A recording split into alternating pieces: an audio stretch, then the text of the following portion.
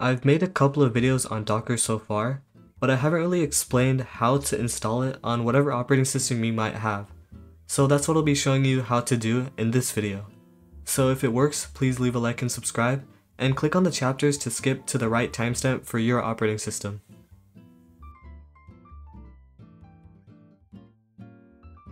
So this is my Linux laptop which I don't have Docker installed on, and we're not going to install it normally just by typing sudo apt install docker or something like that. We're going to go to any browser you like, and then search install docker engine. It'll be the first thing that pops up, and then just choose the distribution that you have. You could install the Docker desktop app for Linux, but if you're using it on a server, you're not going to have access to that desktop. And it's a lot more convenient if you know what you're doing to use the command line utility instead of the Docker desktop app. You can download the Docker desktop app if you want though.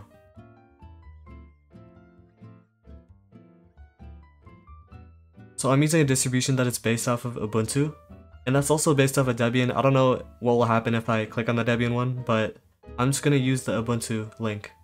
Now if I scroll down, it'll tell me to uninstall old versions, and I don't really have it installed, but I'll just do it anyways.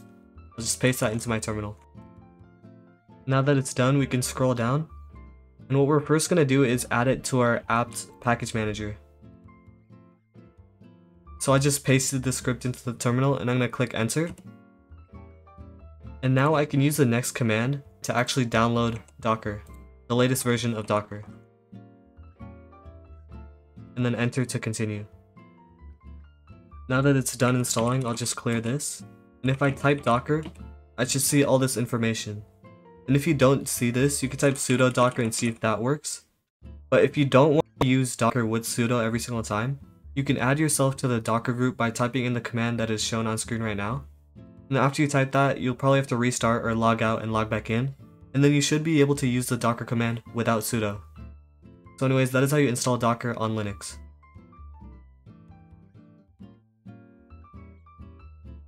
On Windows and Mac, you only have one choice, and it's just the Docker desktop app. And the way to install that is just by going to any browser and then search for Docker desktop. Then it'll be the first link that pops up, this will be in the description too. And then you can hover over here to see all the options. I'm just going to click download for Windows.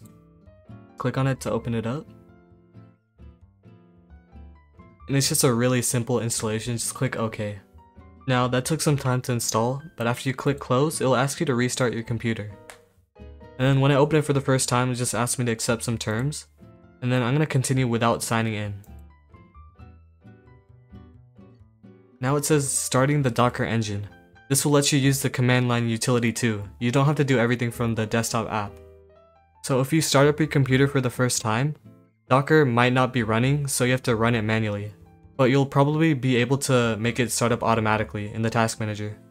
Now I'm just going to show you it works from the terminal too. If I open up this terminal and then I type docker, I should see all the information about the docker command. So anyways, that is how you install docker on whatever operating system you have, and if it worked, please leave a like and subscribe, and I'll be sure to make more docker videos just like this. Anyways, I'll see you in the next video.